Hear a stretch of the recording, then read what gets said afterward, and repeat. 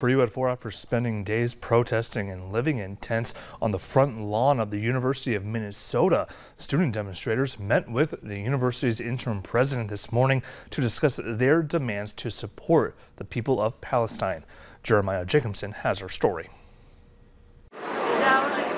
Quiet at the U of M encampment. We've had quiet time. People have been studying for finals. Quiet like the building surrounding it. We are not in control of that. The people who are causing the shutdown are the people in charge quiet campus now. Not always the case. Trying to flush us out and trying to get us off, off the lawn here and try to get us out of campus. A student organizer here says he feels the university is clamping down on his First Amendment rights.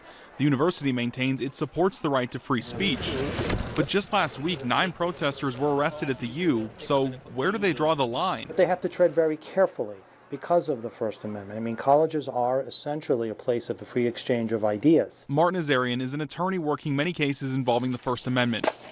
He says the First Amendment does protect the right to free speech and to gather for the demonstrators as long as they stay peaceful. If the police have to use force to essentially rein in the protesters to preserve life, liberty, property, things of that nature, then we begin to encroach upon the area of criminal law or criminal activity.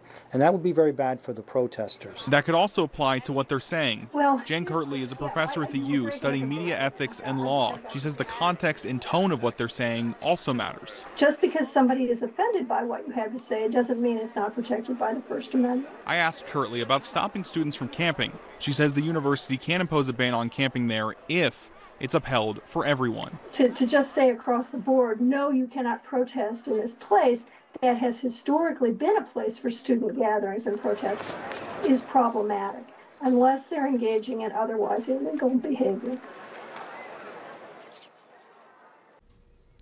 Now, as for the future of the encampment, attorneys say that the First Amendment does protect students' right to free speech and gathering as long as demonstrators can remain peaceful. However, the university can impose a ban on camping if it's upheld for all groups, although legal sources say that the ban can be shaky.